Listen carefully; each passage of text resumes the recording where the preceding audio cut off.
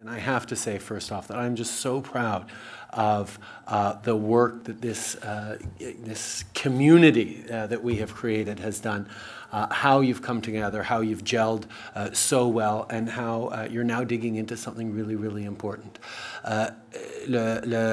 L'idée d'une politique nationale sur, pour la jeunesse, c'est quelque chose qui me tient énormément à cœur, qui est, est, un, un, objectif pour moi depuis que, même avant que je, je suis rentré en politique,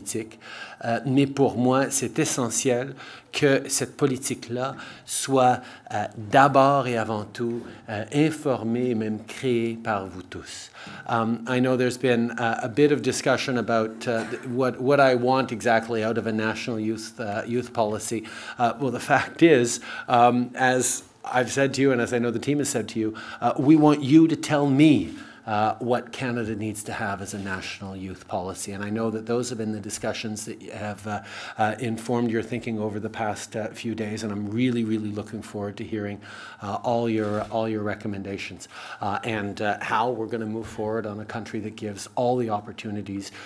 in a totally inclusive way to all of our all of our young people across this country.